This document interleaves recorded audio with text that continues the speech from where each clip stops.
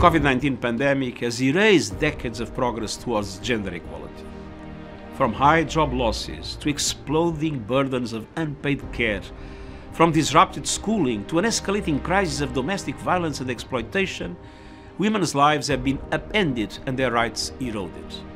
Mothers, especially single mothers, have faced acute anxiety and adversity.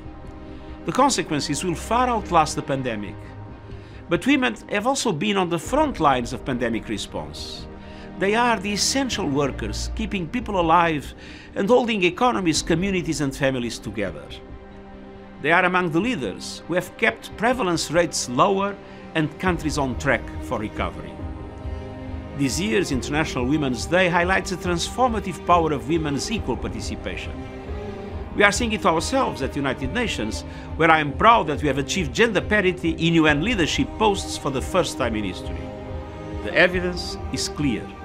When women lead in government, we see bigger investments in social protection and greater inroads against poverty.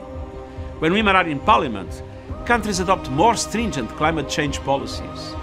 When women are at the peace table, agreements are more enduring. And with women now serving in equal numbers at the top leadership posts at the United Nations, we are seeing even more concerted action to secure peace, sustainable development, and human rights.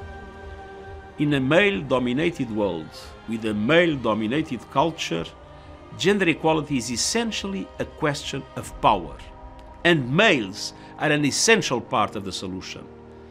I call on countries, companies, and institutions to adopt special measures and quotas to advance women's equal participation and achieve rapid change.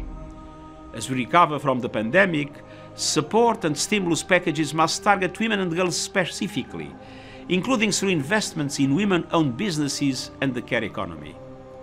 Pandemic recovery is our chance to leave behind generations of exclusion and inequalities. Whether running a country, a business, or a popular movement, women are making contributions that are delivering for all and driving progress towards the Sustainable Development Goals. It's time to build an equal future.